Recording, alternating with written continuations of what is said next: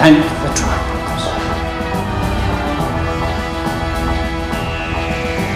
You will have great understanding.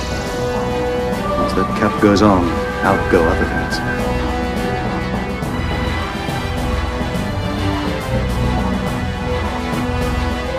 There is a place where men are free. We call it the White Mountain.